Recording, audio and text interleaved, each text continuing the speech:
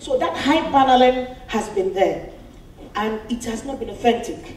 But NETmundial was authentic. What are your conclusions of the conference so far?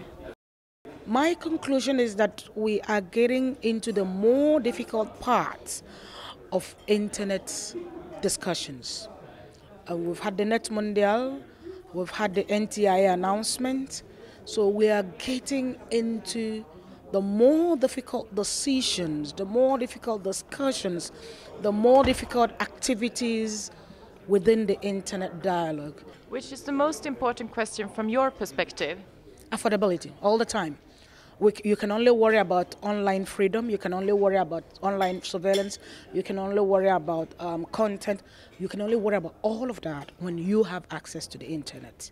So I work for the Alliance for Affordable Internet, and my biggest battle is to get all the people online as fast as possible. And how can that happen? Um, there are policy policy issues around it. There are infrastructure issues around it. Um, and there's education issues around it. So we're looking at all of these issues. And with the Alliance for Affordable Internet, we have started working with governments across Africa.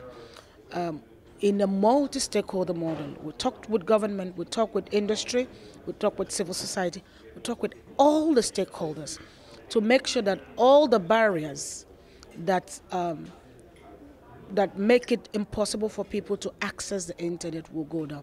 Because I believe that access to the internet is key in economic development.